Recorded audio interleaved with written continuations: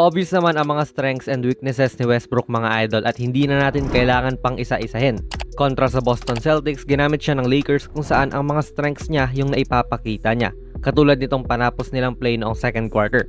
Habang inuubos ni Lebron yung oras, si Westbrook ay pumepwesto sa dunker spot. Sa mga hindi nakaalam kung saan yung dunker spot, medyo dito yan na area kung saan kapag sinasalo mo yung bola dyan, idadakdak mo na lang dahil madalas mga bigs ang pumepwesto dyan. Ngayon, si Marcus Smart ang tumatao kay Brody at magandang pagkakasetup nila sa play na to para mismo kay Westbrook. Si AD kasi ay nasa labas. Kahit na hindi maganda ang shooting niya ngayong season, may bitaw pa rin naman talaga siya dyan at syempre, sinundan siya ng taon niyang si Williams. And ginamit ng Lakers ang instinct ng mga players dito. Noong umatake si Lebron, masyadong concerned ang Boston na baka makascore siya. Kaya sumalubong si Smart upang kumuha ng charge habang si Westbrook naman ay humarang dito kay Williams para hindi na rin siya makapag-help at manatili lang sa kaliwa kasama si AD. Ending, libre si Westbrook sa ilalim dahil na kay Lebron si Smart.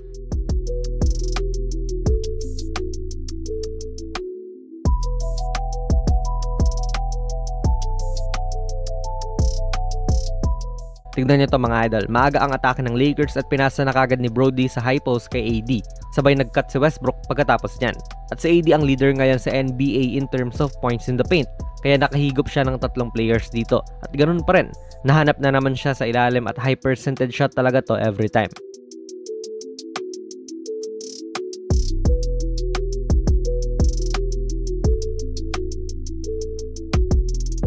Kaya noong inulit na naman nila yon, naalarma na yung Boston at pinick up na ni Smart si Westbrook. Pero yun nga, one-on-one na lang si AD at Horford dito dahil naging concerned naman sila sa mga drop-off papunta kay Brody.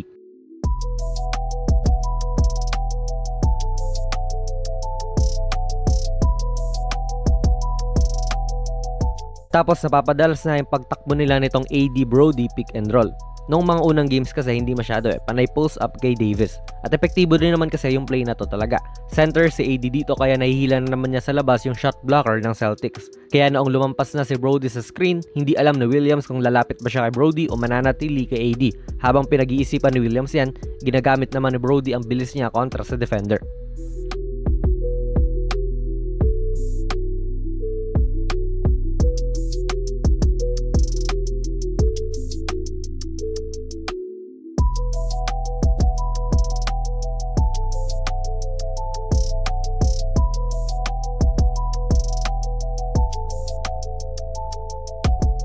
Dito bibigyan siya ng post-up opportunity. So mesenya si Frank Vogel dito kay Monk na umalis sa kanan tapos sumatawag ng play na one down.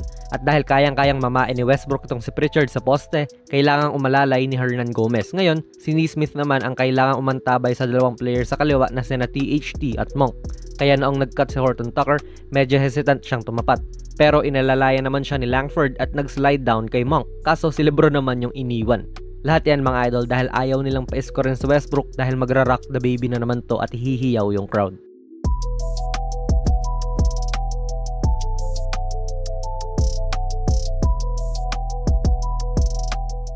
Sa mga Laker fans, unti-unti nyo na sigurong nakikita na nag-feed na sila sa isa't isang mga strengths, lalo na yung Big 3. Si AD, napaka-versatile na player. Si Lebron, ganun din. Si Westbrook yung may mga malinaw na kahinaan kaya nilagay siya ni Frank Vogel sa posisyon na makakascore talaga siya o makakagawa ng play na mahihimay yung depensa ng kalaban.